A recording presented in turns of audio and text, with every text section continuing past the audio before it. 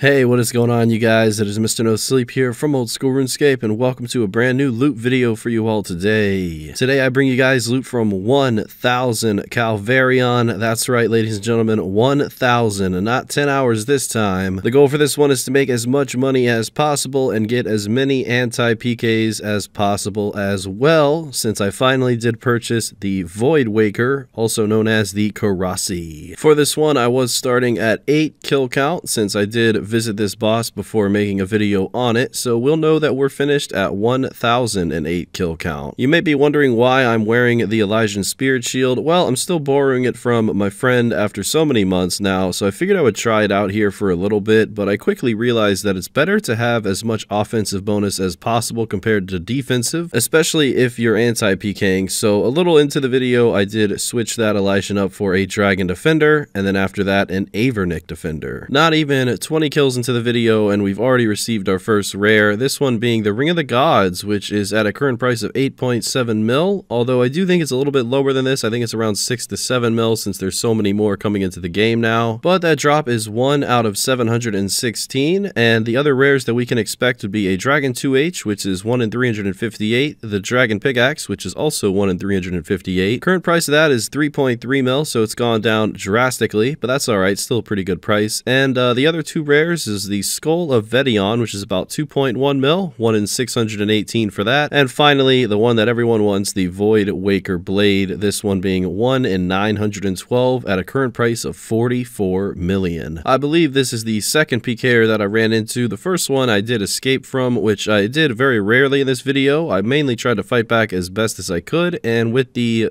I keep wanting to call it Korasi, but with the Void Waker, I did get a nice little 600k anti-PK. And I'll be honest, most of this video is going to be me fighting many different people, whether they are a max mage or a mystic mage or someone in similar setup as me. This really is a true hot spot to find PKers, especially PKers that attack you right away so that you never have to skull. And the bonus of this is I'll always have a Ballista as well as a Void Waker and of course my Viggora's Chainmace with the upgrade attached to try my very best to kill anyone who attacks me. I've been seeing so many videos on YouTube lately of people using the Void Waker and it's almost 100% effective every single time. I mean, at least that's what it seems like. Uh, there's definitely a lot of close calls in this video that I did include, and more that I didn't include. The reality of it is, most of this video is just a lot of PvP, a lot of PKing, and a lot of anti-PKing, which is no doubt about it my favorite thing to do in the game, and you gotta remember, alongside doing this, I'm also making some incredible money every hour while killing Calvar'ion. And with a beautiful special attack to finish off that kill, I did receive 3.5 mil, our first decent uh, PK of the video, but believe me, ladies and gentlemen, the best is yet to come. I hope you watch the whole thing. It is well worth your time. So shortly after killing that guy Fire Cube, I did run into a guy named Earth Cube. I'm not sure if they're related at all, but I'm sure they are because it was just a few minutes after the first kill. And this time, I wasn't sure if I wanted to fight inside the cave or outside, but eventually I decided, you know, I was a little bit low on the food there. Let me just go outside the cave and do my best with my Void Waker, using both of my special attacks right away as soon as we got outside, and it did result in a 14.4 mil PK. I don't know what this guy was doing with two black masks in his inventory, but now they look uh, much better and much safer in my bank tab. So I will take that. We're going to keep every PK and every single Calvar'ion kill in the same bank tab. Nothing should be out of order there, so that'll look nice at the end of the video. We're already 200 kills in, so you guys can kind of tell, you know, the amount of PKers that I'm running into on a certain kill basis here. Definitely a lot. And again, this wasn't even peak time to be doing something like this. I was doing this, I think, one week after this update came into the game. And the benefit of that is I could also afford a Void Waker at this current point in time. I think it's about 200 mil, and I believe I purchased mine for 183. So had I done this in the first few days, I would have had to spend just an enormous amount of money on that Void Waker, and probably I would have lost hundreds of mil on it. So I certainly don't mind uh, doing this video a little bit later on uh, when prices did settle down a little bit. And hopefully we do receive a Void Waker drop from this uh, boss. It is definitely not out of the question, seeing as I'm killing a thousand of them. But so far, no luck since the Ring of the Gods. So we're just going to keep uh, pressing on here. And this video was done in about four days' time. I think on the first day, I killed over 499 of them. And then I logged in the next day uh, to start 500. I think I killed 100 that day. And then just kind of slowly doing a few hundred kills a day. Um, one thing that I did get hooked on while, you know, I was continuously banking and so forth was Last Man Standing. I figured I was doing so much anti-PKing that Last Man Standing would only improve my ability, and I had never done it before, but I've officially done probably about three to four hours of non-stop Last Man Standing in the last few days or last week or so, and it is so much fun. So I definitely attribute a little bit to all the PKs that I've gotten here uh, to my clicking abilities getting a little bit faster and a little bit smoother due to all the practice at Last Man Standing. And that really goes for anyone. If you ever need more practice for PvP, feel free to go there. You get different sets, you get different uh, levels that you can be, a pure, Zerker, um, Barrows pure, max main, and it's all 100% free to do, and it's a lot of fun. It's always very crowded there. So yeah, big shout out to the uh, people that I've been seeing in Last Man Standing and competing against. Definitely a cool thing to do on the side while you're working on anything that involves the wilderness. And here we are, 300 kills into the video. I think I've only gotten about a 1.1 mil PK in the last 100 kills or so. Also had two very close calls of killing the same max major inside of the room here, but they continued to teleport out. So like I said, I did add a few close calls into this video just because why not? If I have to have the pain of almost getting a massive PK, you guys got to share a little bit of it with me, you know? But uh, either way, it was going really well. I didn't really have too many switches going into this one as it goes for the, you know, anti-PKing. Realistically, it was just a Amulet of Glory switch uh, from my original Salve Amulet, which of course I would use on Vet'ion. And here we go. Here's the biggest PK of the video, ladies and gentlemen. Just kidding. You know, it's so painful to hit a zero after you've smited a $200 million sword but it is what it is. I did chance that guy a few times, and he always got away, and I did see that as a pattern with certain max PKers that would continuously try to kill me, and even after a while, they honestly stopped. A lot of them just kind of offed me, wished me luck, because, you know, they didn't want to go through the struggle of fighting me again. Needless to say, I'm definitely not the best PKer out there, but the, the setup is so good that uh, the beautiful thing about the Void Waker is that even if you're not going to use the special attack, they're always going to want to camp Pray Mage so that you, you know, you just cannot kill them with it, and this opens up the opportunity to continuously whack them with it and constantly hit 40s and 50s. And then if they do pray melee, you can go ahead and use the special attack and you're going to just hit so much higher. And if worst comes to worst, I always have my ballista. So there's just so many different ways that I can kill someone as well as always using vengeance and having that berserker ring imbued on, just ready to go. So needless to say, I was really prepared for anyone and everyone, uh, whoever was going to be attacking me. Here's a lovely drop, a dragon pickaxe this time, not a ring of the gods or anything above it. So there's another 3.3 mil, maybe 3.4 to the price check. Love getting drops here. This is actually very easy to kill. I apologize that I didn't actually include a full length uh, clip of me killing this boss, but it's really easy. I didn't really think it was necessary. I know there's a couple guides on YouTube already, but yeah, it's uh, very easy to kill compared to the normal Vet'ion. It's like half the HP, and you always hit above 60s with the Viggora's Chain Mace. So yeah, I mean, it's, it's a pretty easy boss to kill, and that's why I didn't really film too much of fighting him because once you kill it once, you'll get the hang of it and you'll probably perfect it in no time. And what you just saw there is me rushing with the Void Waker, which is actually pretty effective. I uh, got a nice little 1.1 mil there. I hope they didn't lose Infernal Cape or anything like that, but yeah, I did do this a little bit during the video. My apologies if I rushed you. It's nothing personal. I, you know, just on off hours, I would be a little bit bored and I would just go ahead and like rush 10 people in a row and go to the Myths Guild suicide, get spec back, and then return and do it all over. Pretty toxic to do that, you know, but I figure 10 people is not the worst thing in the world. If you do that for like 10 hours a day, though, yeah, you probably will anger a lot of people, but, uh, you know, that's okay. It's the wilderness after all. And there's another nice little PK, uh, thanks to the dog for assisting me out in that one. My special attack wasn't enough, but thanks to Calvar'ion's pets, I was able to kill him, and we got a nice little uh, PK from him. Nice dragon boots coming in. So I will certainly take that. Uh, after that happened, I did go back to rushing a few people. Uh, like I said, it's probably not the best thing to do for money. A lot of these guys didn't really have too much of a risk, but you never know, uh, especially in high level total level worlds. But we are inching our way towards 1,000 kill count. I really hope you guys are enjoying the video so far. If you do, let me know by thumbs upping the video or just leaving a comment below. I do plan on killing 1,000 of all of the new wilderness bosses, probably going to be sticking with the lower level ones first and then slowly moving up towards the higher level ones. And here we have a guy who I fought multiple times this week. I was never able to actually kill him, and he was never able to kill me, to my knowledge, but I did get a few close calls on him, and, you know, that Inferno Cape, oh, I wish I had one myself, but I also wish I would have PK'd him for it, so, you know, maybe next time, though. Uh, running into the same names, that definitely will happen to you if you stay here long enough. There's just so many people here always PKing and always just killing the boss himself that I really don't see this dying down anytime soon. Uh, no matter what time of day it was, there was definitely always a PKer here, so if you ever want to get back into the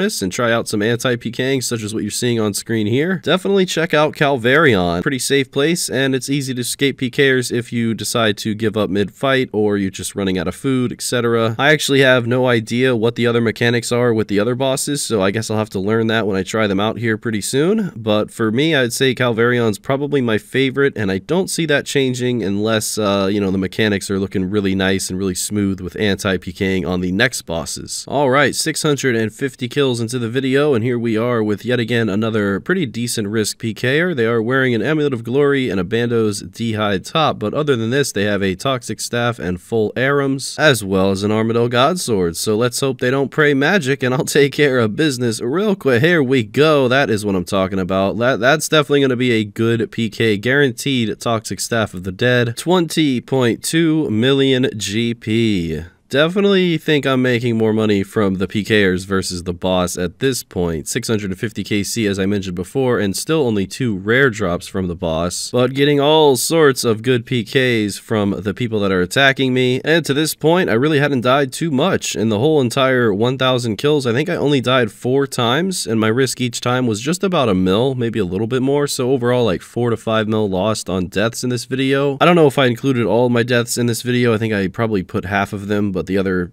part of them you can just kind of see by the KDR at the top left. But there's a nice little dragon pickaxe, uh, KC 679, another 3.4 mil coming in. That is the second one of the video. Did have somewhat of a close call with this max uh, outside of the Ferox enclave, but I didn't kill him, of course. Uh, it would have been nice if I did, though. But yeah, here, here we go with a different uh, setup for my look here. Got a Bandos D'hide top on. Pretty sure that's the one that I just PK'd from that major uh, about an hour ago at this point in the video. So yeah, I just figured I'd wear that, and currently at 700 kill count with 300 left to go. And yet again, here we have another uh, Mystic PKer this time. Uh, most of the people that I ran into were in Ahrim's or above, but yeah, that guy had Mystic, and unfortunately I wasn't able to spec high enough to get the kill, but it was a close call. Over 700 kills in the video so far, and what do we receive here? Kill count 712, another Ring of the Gods. Definitely appreciate it. I mean, no doubt it will help out the price check, but where is my Skull of Vet'ion. Where's my Void Waker Blade? That's what you really want to see here. 43 mil for that Void Waker Blade. Skull of Vet'ion, like I mentioned at the beginning, is only 2 mil, but it would still be nice to get for the collection log purposes, but I guess we'll just have to wait and see if we get any luck with the remaining 300 kills. Back at the Ferox again, just for a quick little break outside of a last man standing game, and I did get a Ballista PK, so that was pretty cool. I don't know if you guys noticed this, but about 100 kills ago, I did receive a Curved Bone, which is rarer the pet here and all the other exclusive rare items on the drop tables. So yeah, might have killed all my RNG with that, but it is a curve bone after all. Shortly after returning from the Ferox, I did receive a Dragon two-hander, which is only at uh, 132k, but it's still nice to receive from the boss. Another drop on the log completed. And here we have another, uh, I'd say, welfare PKer. Not much of a risk from this guy, but the Korasi, or I mean the Void Waker, did take him down with a special attack of 57, resulting in about 350k loot. I would say I definitely ran into more PKers towards the second half of the video compared to the start, and uh, for example, this guy here was not only smited uh, for multiple hits, but he managed to tank every single hit that I did on him. I can't remember what his plus one was, but it was either AGS or uh, Korasi, so yeah, yeah, it really is painful, but it is what it is. I think I rematched him, and the same thing happened, only this time he teleported away, and I did not smite him. Here we are, 800 kills into the video, and if you're curious of the power of the sword that I'm using in this video, make sure to check out this video that I'm showing on screen here. When this was originally released in the other RuneScape, people were known to spec transfer and make this sword unlimited special attack version, which means that the person using it could continuously use the special attack on anyone in the wilderness, resulting in almost a 100% kill rate on anyone. So the link to that video will be in the description. Shout out to Bond Block for producing it over 1 million views. And there you just saw the power of it in 2023, resulting in a 40 mil PK. We got an Accursed Scepter, an Armadyl Godsword, full Ahrim's, full Karil's. I mean, that was the biggest PK that I'd ever think I would get with this sword. So yeah, just goes to show all these years later, it is just as effective as ever. Look at the risk on this guy. Such a close call. Too bad he prayed magic there. That would have been a huge PK, and he even complimented and said, well played. Well, thank you. I was so upset at this point in time, like my heart went from beating a million miles a second to almost nothing, and then I literally actually died in game from him. So good fight. It was well worth the risk. I mean, you always have to remember, if you're only risking like a mill or two here, you might as well always pretty much risk your HP or be willing to die for the kill that you're going for. Because remember, I can die 30 times, and it only takes one time to make back all that money, and odds are you're probably not going to die 30 times before you kill someone. Alright, this next one is a little interesting, ladies and gentlemen. So here we have a Mystic Major. This time we're way outside of the cave, uh, but I am full TB'd, so let's bring out that Korasi, and the only thing you got to remember is to have that smite on with it when you're using it, and there you go. We have officially smited them down, and I knew that I was getting a Toxic Staff. I didn't know I was getting the Armadyl God Sword to go with it, though. 24.4 million GP, yet again, adding an incredible amount to the bank tab, and I cannot wait to do this price check. I mean, I was anti-PKing at Revenants for two to three years straight, and I never ever got kills like this. It would be one in a million. Reason being is because I was using DH and, you know, risking one HP all the time, and that's, you know, people always ask me, Mr. No Sleep, where's your GP? Well, it's all lost in the Rev Caves, ladies and gentlemen. I was risking 7 mil at a time to get a huge PK, and most of the time I had to die 10 times in order to get one good little 30 mil PK, so I'd always be down in profit, but here in this video, you are seeing the complete opposite of that. You're seeing me risk a little bit over a mil, and yet I'm getting these PKs that are worth 30 to 40 times that, which really just goes to show, and, and I'm not a great PKer by any means. I mean, I've died 2,000 times in the wilderness so far just on this account, so just let this be a lesson to you guys that you can pull this off too, and uh, as I'm saying that, we are destroying this Voider. Let's see if we can get him down. Hidden with a 57 with a special attack followed by the 58, and he was praying range the whole time. My smite stayed up, and here we go, ladies and gentlemen, 21.6 mil to the bank tab. Now here we have Malfoy, and I knew he was a streamer, I just couldn't remember who he was because he changed his username, but this is actually Coxie over on Twitch, and uh, I just know him for doing a lot of pet hunting and having a pretty good account, uh, similar XP as me, and we had a long fight. Uh, it did go the distance, he chanced me multiple times, and I think I chanced him maybe once, if I'm even being generous to myself. I think he prayed magic in time there, but had he not, I would have gotten a massive PK, and overall I lasted the whole telly block with pretty uh, basic gear, so I'm proud of that. And speaking of live streamers and YouTubers, I do want to give a huge shout out to a guy named Rise. I hope that's how you pronounce his name. It's R-H-Y-S. The link to his channel will be in the description below, and this guy has some of the most incredible PKing videos that I've ever seen. I found his channel about a month ago, and I binge watched all of his videos in one or two days, and this made me buy the Void Waker right away. I mean, I gotta be honest, just huge fan of him, and if you guys want to check out some quality content, make sure to check him out in the description below. I do hope to one day run into him in the wilderness and fight him, uh, but I've yet to do that, so hopefully in the next couple of boss videos we run into him. That'd be awesome to fight uh, one of my favorite YouTubers. I probably wouldn't do too well in that fight, seeing as uh, here I died to a guy with a dragon dagger, but to my defense, uh, Calvar'ion is the one that did the final blow to me, and uh, he kind of escaped and just kind of picked up my loot key and ran. So yeah, you, you know, you, you, just die by the most random things sometimes, but that's what the wilderness is all about. Uh, here we are back in the cave, 935 kill count, almost done with a thousand. We got to get to a thousand and eight. Don't forget. Did get a decent little one mil PK off of that guy with the AGS. Um, yeah, it's weird seeing people use Armadyl Godsword now that the Void Waker is in the game, but you always got to be on the lookout for that too, because that thing is no uh, stranger to hitting 60s and 70s. All right, here we are outside the cave in the middle of a fight. This guy's praying range, so we're going to really hope that it doesn't switch to magic, and 62 to a 61 combination on this guy Devour, and I was very surprised, probably not as surprised as he was, but there you guys go,